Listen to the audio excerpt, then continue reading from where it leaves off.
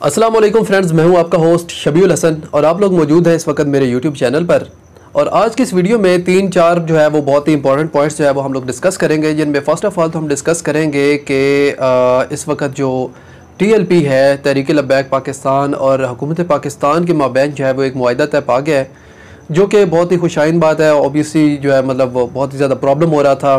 मुआशी तौर पर नुकसान हो रहा था, पाकिस्तान का इमेज ख़राब हो रहा था और जो लोग थे पाकिस्तान के, जो इन शहरों के बीच में जहाँ पर ये प्रोटेस्ट हो रहा था, वो काफ़ी ज़्यादा सफ़र कर रहे थे। दूसरे नंबर पर हम डिस्कस करेंगे कि सऊदी अरब की जानब से जो एक एग्रीमेंट किया गया, जो एक प्रॉमिस किया गया कि पाकिस्तान के जो फॉरेन रिजर्व्स हैं, उनके अंदर थ्री बिलियन डॉलर वो डिपॉजिट करवाएगा। इससे मुआशी तौर पर पाकिस्तान के ऊपर जो है वो क्या असर पड़ेगा और पाकिस्तान की जो मीशत है, उसके लिए किस किस्म का फ्यूचर होगा।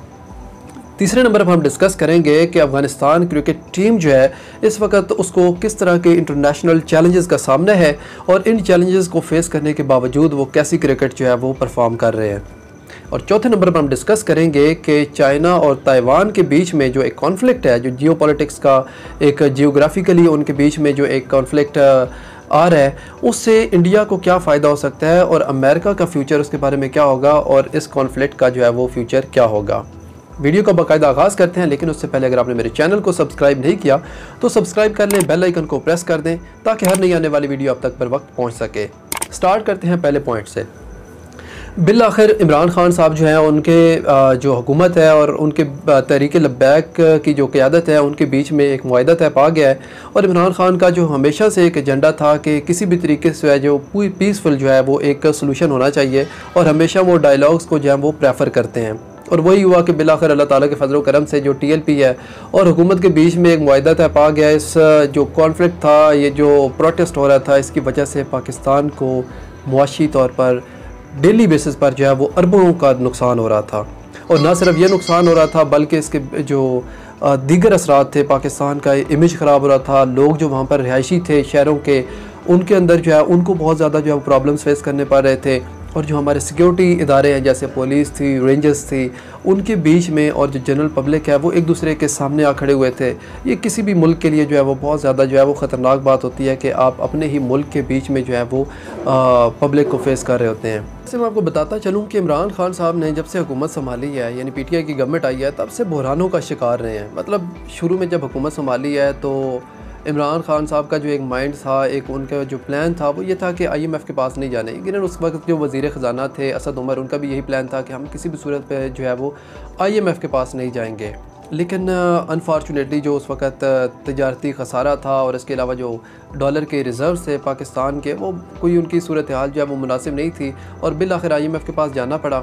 और वहाँ से जब एग्रीमेंट होता है और माहा तय पा जाता है तो उसके फ़ौर बाद से जो है वो फिर कोविड नाइन्टीन जो है वो पूरी दुनिया के अंदर फैल जाता है और उस वजह से जो है वो पूरी दुनिया ही जो है वो तकरीबन डेढ़ साल के लिए जो है वो मुंजमद सी हो जाती है। जिसकी वजह से पाकिस्तान की जो मीशत है वो जो कि ऑलरेडी मतलब एक कोई अच्छी खातर खा पोजीशन में नहीं थी, उसके ऊपर भी इफ़ेक्ट आना ही था और उन से निकलने के बाद अभी निकल ही रहे थे तो दैन बीच में पीडीएम आ जाती है और पाकिस्तान को फिर जो है वो एक दफ़ा ग्रे लिस्ट के अंदर ही रखा जाता है और दैन जो है वो टीएलपी और नामूस रसालत के बारे में जो एहतजाज वगैरह शुरू हो जाते हैं तो देखा जाए तो इमरान खान जब से आए हैं, ये बहरानों का ही शिकार रहे हैं। मतलब एक बहरान से निकलते हैं तो दूसरे में फंस जाते हैं, लेकिन अल्लाह ताला के फजल करम से पाकिस्तान फिर भी जो है वो चलता जा रहा है।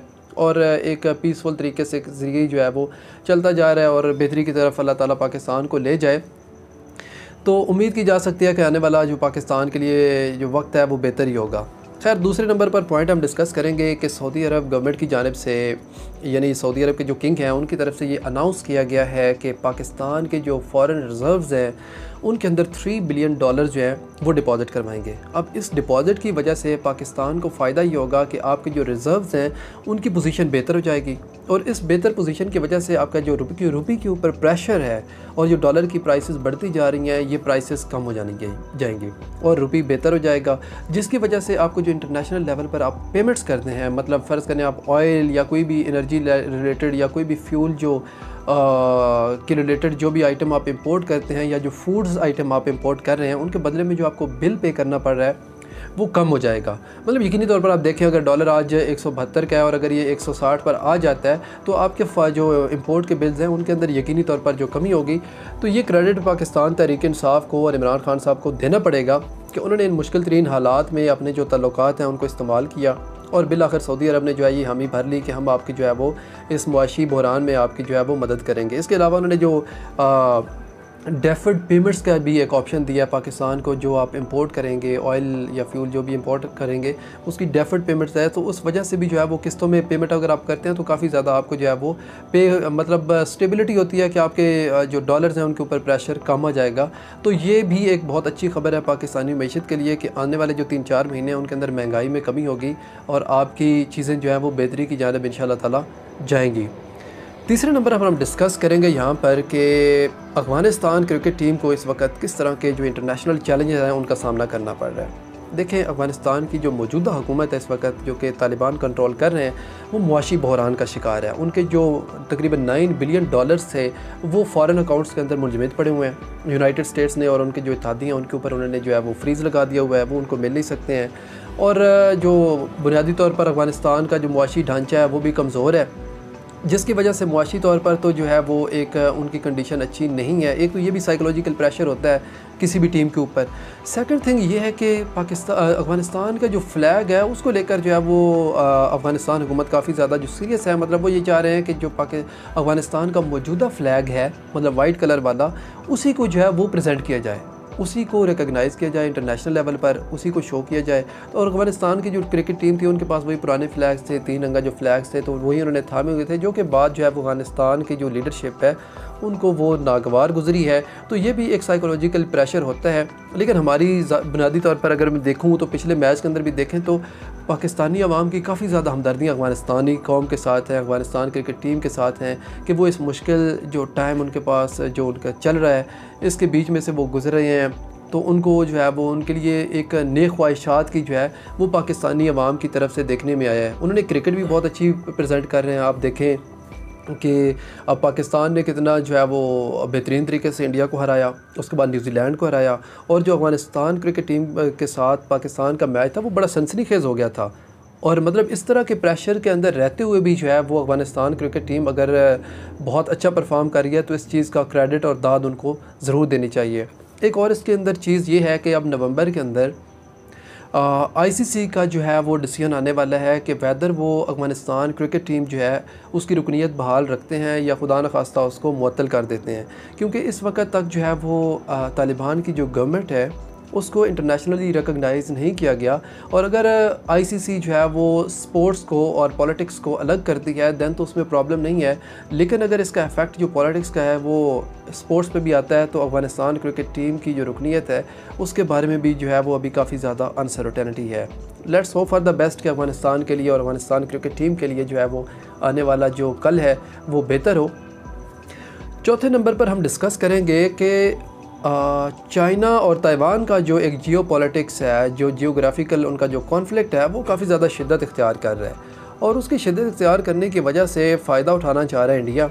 और इंडिया के अंदर से आवाज़ें आ रही हैं कि यार किसी भी तरीके से जो है ना वो अमेरिका को सामने आना चाहिए। अमेरिका अगर अपना ताइवान को प्रोटेक्ट नहीं कर सकता तो कल बाकी जो दुनिया के ममालिक हैं वो अपने आप को किस तरह से सिक्योर फील करेंगे कि जो एक सुपर पावर है वो ताइवान को तो प्रोटेक्ट कर नहीं सकी। तो बाकी जो कंट्रीज़ हैं उनका जो है वो तो मुराल ही डाउन हो जाएगा। और अभी अफ़गानिस्तान वाला जो इशू हुआ है, उसके बाद तो अमेरिका की जो है वो वैसे ही जो है काफ़ी ज़्यादा जो उनका मुराल है वो डाउन है और उनकी हर जगह सही हुई है। तो बीच में फ़ायदा उठाना चाह रहा है इंडिया। लेकिन मुझे नहीं लगता कि इंडिया इस चीज़ में कामयाब होगा। क्योंकि अगर देखें तो बाइडन इंतज़ामिया ने बड़ी मुश्किल से जो है ये 20 साल जंग जो है अफ़गानिस्तान के अंदर से ख़त्म करके यहाँ से सेफ़ एग्ज़िट बनाया है और इसके अंदर ट्रिलियन ऑफ़ डॉलर्स जो है उनको नुकसान हुआ है।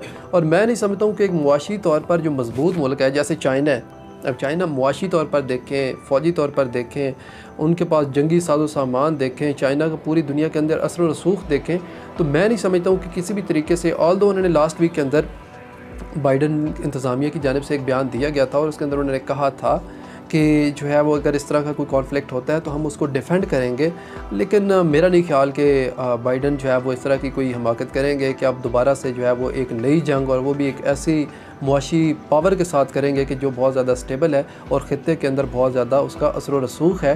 तो जो ख्वाहिशात हैं इंडिया की वो मुझे पूरी होती हुई नज़र नहीं आ रही हैं। और वो ये चाहता है कि किसी तरीके से जो उनका स्टैंड ऑफ़ है, लद्दाख के देखा जाए या लाइन ऑफ़ एक्चुअल कंट्रोल पे देखा जाए कि जो उनका चाइना के साथ उनकी फ़ौजें आमने सामने हैं तो वो ये चाहता है कि किसी भी तरीके से ये इम्पैक्ट जो है, ये चाइना की अटेंशन जो है, ये डाइवर्ट हो टूवर्ड्स ताइवान और अमेरिका बीच में आए और यहाँ से फ़ायदा उठाए इंडिया लेकिन ऐसा कुछ होने वाला मुझे नहीं लग रहा ऐसी कोई चीज़ है। एक और पॉइंट डिस्कस करता जाता हूँ, लेकिन इसको नेक्स्ट वीडियो के अंदर हम लोग जो है वो एलेबोरेट करेंगे। वो देखेंगे कि हालिया जो फैटफ की जानब से जो टर्की है, उसको ग्रे लिस्ट के अंदर पुट किया, कर दिया गया है। मतलब आप देखें कि एक नेटो का इतिहादी मुल्क है, नेटो का अलाय है, तुर्की, और उसको जो है वो ग्रे लिस्ट के अंदर डाला गया है। तो इस वीडियो को खैर हम लोग जो है, इस पॉइंट को जो है वो अपकमिंग जो वीडियो है, उसके अंदर ज़रूर इन ताला एलेबोरेट करेंगे। होपफुली आपको ये वीडियो और इसके अंदर जो डिस्कस की गई बातें हैं, ये पसंद आई होगी, और अगर आपको ये बातें और वीडियो पसंद आई है तो चैनल को सब्सक्राइब कर दीजिएगा, वीडियो को लाइक कर दीजिएगा। मिलते हैं नेक्स्ट वीडियो में, तब तक अपना ख्याल रखिएगा। अल्लाह हाफिज़।